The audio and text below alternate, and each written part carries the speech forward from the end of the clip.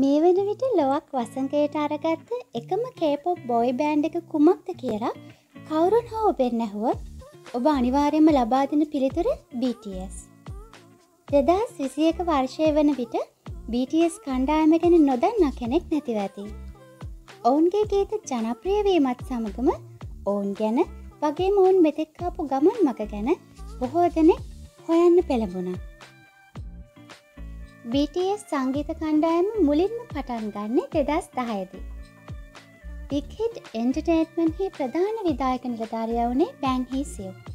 ඔහු මේ කණ්ඩායම් නායකය වුණ ආරෙම මුණ ගැහෙනවා. ඔහු ආරම්ගේ රැප් කිරීම ගැන පැහැදෙනවා. බැංහේසියක් මුලින්ම හිතන අනෙක් කණ්ඩෑම්වට සමාන හිපොප් කණ්ඩායමක් බවට මේක පත් කරන්න. නමුත් පසුව ඔහුට හිතෙනවා පත්මන් තාරුණ්‍යයට අවශ්‍ය මීට වඩා වෙනස් දෙයක් බව.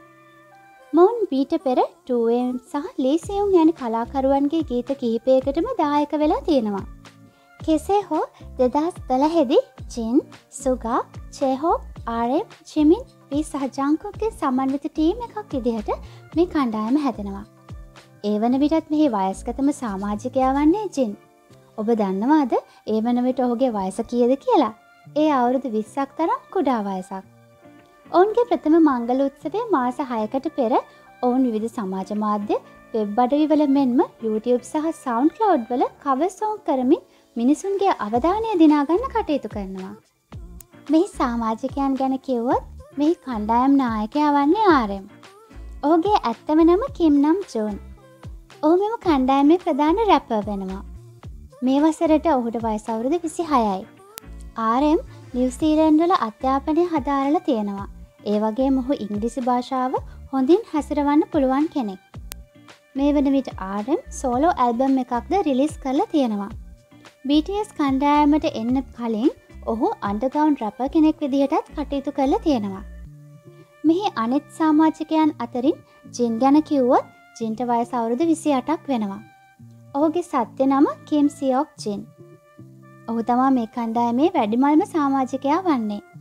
ඔහු මෙහි වෝකලිස්ට් කෙනෙක්. ඒ වගේම ඔහු කලාව හා රඟපෑම සම්බන්ධයෙන් කොංකුං සරසවියෙන්ද උපාධයක් ලබාගෙන තියෙනවා. මේ වසරට සුගාටද වයසවුරුදු විසි අටක් වෙනවා. ඔහුගේ සත්‍ය නම මින් යෝන්ගේ. සුගා මෙහි රැප කෙනෙක් විදියට තමයි කටයුතු කරන්නේ. සුගා කියන්නේ ඔහුට මීට පෙර රැප කෙනෙක් වීමට කිසිම අවශ්‍යතාවයක් තිබුණ නැහැ කියලා. ඒ වගේ මොහුට අවශ්‍ය වෙලා තියෙන්නේ අධ්‍යක්ෂකවරයෙක් විදිහට කටයුතු කරන්න. සුගාය වගේම පියානෝ වාදනයටත් දක්ෂයි.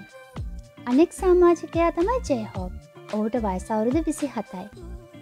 ජේහෝප්ගේ ඇත්ත නම ජං හෝ සියෝ. BTS සංගීත කණ්ඩායමේ බොහෝ ගීත රචනා වෙන්නේ ඔහුගේ අතින්. ඒ වගේම ඔහුගේ නාමේ යටතේ මේ වන විට ගීත හැත්ත හතක් පමණ රචනාවී තිබෙනවා. දෙදස් දහටේදී ඔහු සෝලෝ එකක්ත කරලා තියෙනවා. BTS සංගීත කණ්ඩෑමට එකතුවීමට පෙර ජේහෝප් ස්ත්‍රීට් ට්‍රාන්ස ටීම් එකක් වන නිවරෝන්හි සාමාජිකයක් ලෙසද කටයුතු කළ තියෙනවා. ඒ වගේම දෙදස් අටේදී ජාත්‍යන්තර නර්තන තරංගාවලියකින් දොහු ජයග්‍රහණය කර තිබෙනවා. වී ගැන කිව්වොත් වීගේ සත්‍ය නම කෙම්තායි හෙයොන්. ඔක්කේ වයස මේ අවුරුදුර අවුරුදු විසි පහයි. ඔහු ගායකෙක් වගේම හොරං නාට්‍යයේ නළුවෙක් ලෙසද රඟපෑමෙන් දායක වෙලා තියෙනවා. ජංකෝක්ගේ සත්‍ය නම ජියෝන් ජංකෝ. ඔහුගේ වයස අවුරුදු විසිතුනයි. ඔහු තමයි මේ කණ්ඩායමේ ලාබාලතම සාමාජිකයා වන්නේ. BTS සංගීත කණ්ඩායමට ඇතුල් වන විට ඔහුගේ වයස අවුරුදු පහළවයි. ඔහු සෞත් කොරියන් ටැලන්් ෂෝ එකක් වන සුපස්ටාක්කේ සඳහා සහභාගී වෙනවා. එහි වැඩම ඉල්ලුමක් තියෙන ගායකෙක් බවට දොහු පත්වෙනවා. මේ දක්ෂතා නිසාම ඔහු පිකිට් එන්ටර්ටේට්මන්් හි ආරාධනයකිනුයි BTS සංගීත කණ්ඩායමට ඇතුල් වෙන්නේ. ජිමින්ගේ උපන්නම පාක් ජීමින් ඔහුගේ වයසවුරුද විසි පහයි. ඔහු තමා මෙහි ප්‍රධානම ගායකයා ලෙස කටයුතු කරන්නේ. ඒ වගේම මෙම කණ්ඩායමට අන්තිමට එක්වන්නේ ජිමින්. ජිමින් මේ කණ්ඩායමට ඇතුළත් වන විදිහ ඔබට කිව්වත් ජිමින් මුලින්ම උසස් අධ්‍යාපනය හදාරන්නේ බෝසාන් හයිස්කූල් එකේ. ඒ කලාව පිළිබඳ. ඒ වගේම ඔහු එහි කීර්තිමත් ශිෂ්‍යයෙක්ද වෙනවා. පසුව ඔහු ස්ථාන මාරු වෙලා කොරියානු හාට් හයිස්කූල්ලයකට ඇතුළත් වෙනවා. අන්න එතනදි තමයි ඔහුට වී මුණ ගැහෙන්නේ. ඒ වන විට වී PTS ඔඩිෂන් වලට සහභාගී වෙලා ඉන්නේ. ඉතින් වීගේ උපදෙස් පරිදි තමයි ජිමින් PTS බෑන්ඩ් එකට එකතු වෙන්නේ. ඒ අනුව PTS බෑන්ඩ් එකට අන්තිමට එකතුන සාමාජිකයා බවට ජිමින් පත්වෙනවා. මේ වන විට ඔවුන් මියසික් වීඩියෝ ඇල්බම්ස් අටක් රිලිස් කළ තියෙනවා. ඔවුන්ගේ පළමු ඉංග්‍රිසි භාෂා ගීතය උනේ ජයිනමයිට්. මේ ගීතය YouTube වාර්තා බිඳ දැමමින් වැඩිම වියස් ප්‍රමාණයක් ලබා ගන්නවා.